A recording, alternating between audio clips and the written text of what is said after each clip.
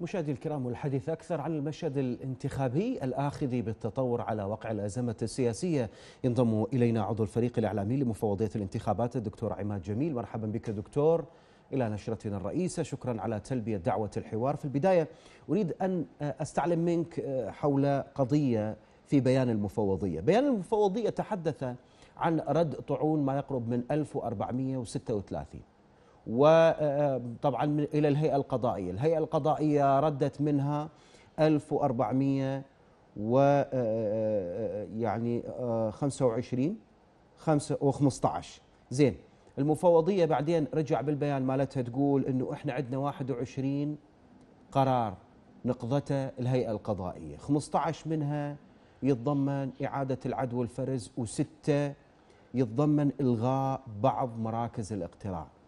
أكو فد جدلية هاي ال 1436 هي كلها طعون وهاي ال 21 قرار اللي نقضت هي خاصة شنو؟ ضمن ال 1436 لو شنو؟ لأنه حقيقة المسألة كلش تدوخ. لا لا إن شاء الله ما راح تدوخ مساء الخير إيه. عليك وعلى الله. مشاهديك الكرام آه، في الحقيقة أنطيك تفاصيل عن هذا الموضوع إيه؟ لأن هذا الموضوع مهم جدا والمفروض المشاهد يكون عنده اطلاع عليه. مجموع الطعون اللي قدمت من قبل الأخوة المرشحين هي 1436 طعن. جيد. نظرت بها المفوضية وأيضا حققت إذا تتذكر بقسم من عندها قبلت 67 طعن في وقتها وتم التحقيق بمحطاتها واعلنا النتائج وفي وقتها كانت النتائج مطابقة للعد الفرز اليدوي والإلكتروني. ما عدا هنالك أصوات قليلة لم تؤثر بالنسبة في الحقيقة. وبذلك صرحنا في وقتها انه هذه النتائج لا تؤثر آه، بنتائج العدو الفرز وبذلك لما وصلت هذه الطعون للهيئة القضائية نظرت بها الهيئة القضائية. وعند اكتمال النظر بهذه الطعون ردت إلى المفوضية وكانت نتائج القرارات ما يلي. أولا ال 1300 1415 طعن نعم. تم المصادقة على قرارات المفوضية اللي أوصت بردها أو اللي قرارات اللي اتخذتها أثناء عملية العد والفرز للطعون البالغ عددها 67 طعن. طيب.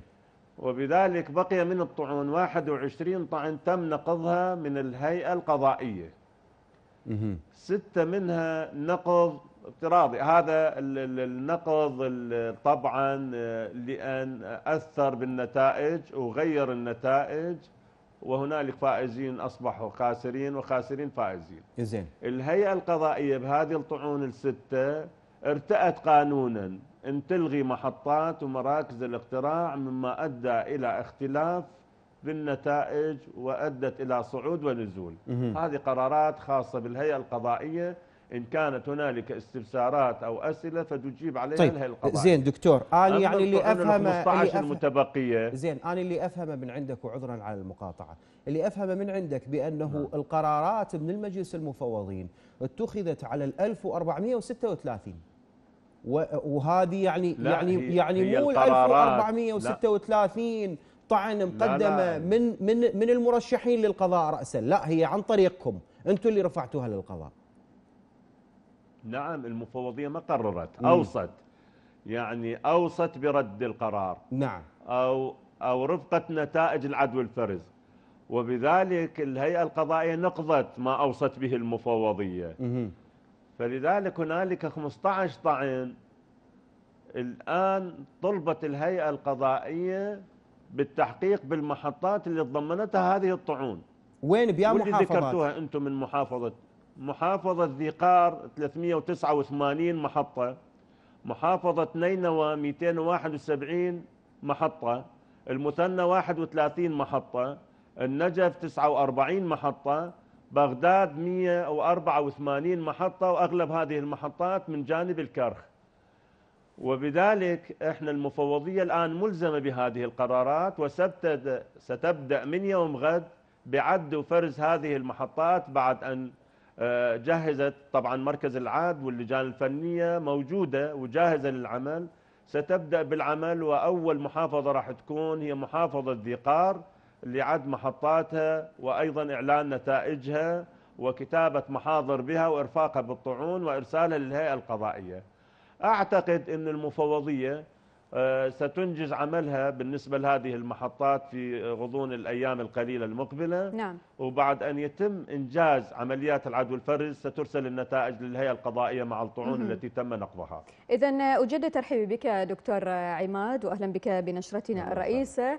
آه، دكتور عماد يعني بعض الكتل آه، تحمل اليوم مسؤولية ما يحدث من ربكة بإعلان النتائج؟ تحمل المفوضية مسؤولية ذلك كيف ترد المفوضية على هذا؟ وبالفعل من يتحمل المسؤولية اليوم؟ المفوضية دائما إحنا وضحنا أختي العزيزة بالنسبة لإعلان النتائج إحنا أعلناها ضمن قانون المقابل آه، فهمها إنه هنالك إرباك.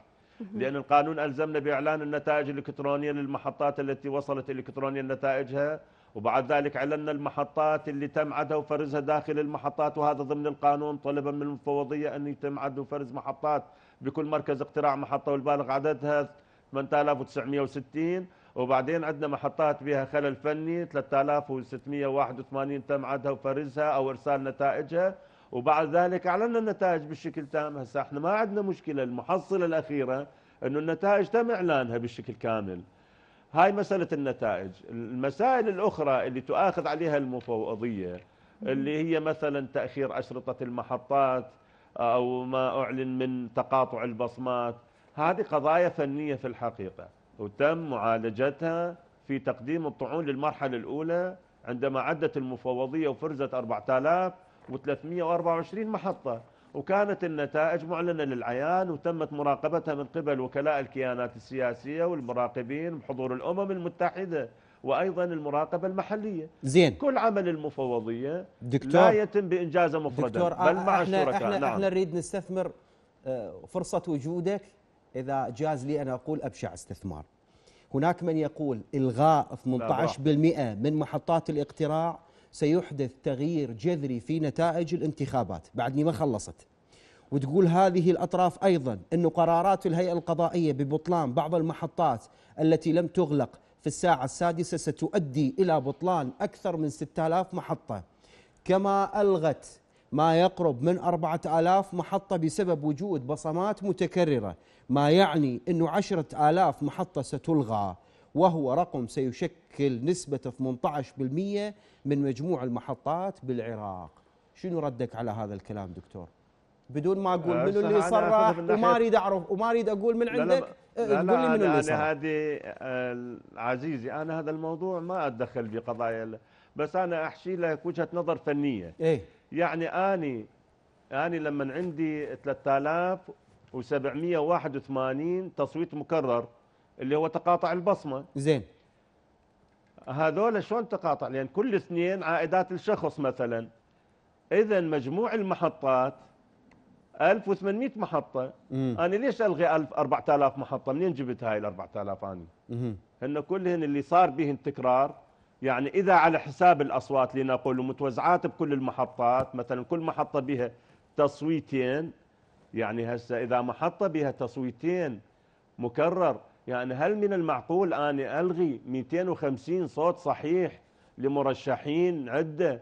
فهذا المنطق يعني منطق المفوضية أنه تقول ذولا ينحالون للقضاء.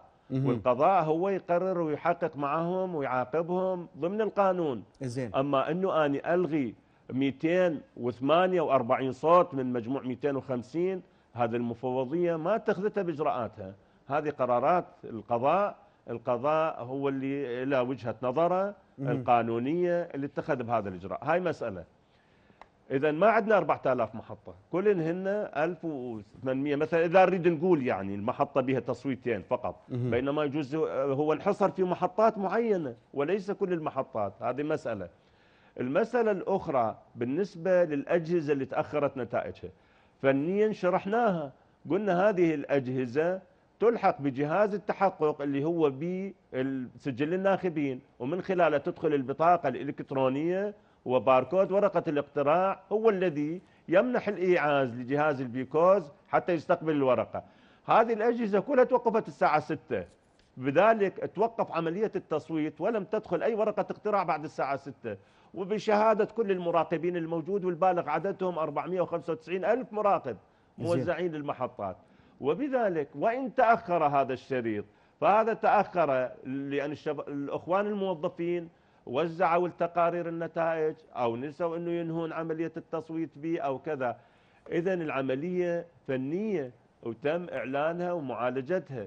حتى طيب. أنه هذه المحطات تم جلبها إلى مركز العدو الفرز وتم التحقيق بها ووجدت النتائج مطابقة ولا توجد هنالك أي عمليات تلاعب. سيد عماد أنتم الآن تعيدون العدوى الفرز بشكل جزئي لكن السيد مقتدى الصدر تحدث وحذر من آه، آه، أمس من ضغوط، يعني برأيك ما طبيعة هذه الضغوط التي يتحدث عنها السيد الصدر وما الذي يقصده؟ على من ومن من ستكون هذه الضغوط؟ في الحقيقة المفوضية أجرت عملها على كامل وجه دون أن تتعرض إلى تهديد أو ضغط داخلي أو خارجي إلى حين إرسال الطعون إلى الهيئة القضائية. والآن ما يدار الآن في الحقيقة هي قرارات الهيئة القضائية والمفوضية ملتزمة بقرارات الهيئة القضائية لأن قرارات الهيئة القضائية ضمن المادة 19 و20 من قانون المفوضية أنها ملزمة وباتة وبذلك على المقدمي الطعون والمفوضية الالتزام بنتائجها. طيب. وهذا ما يتم الآن.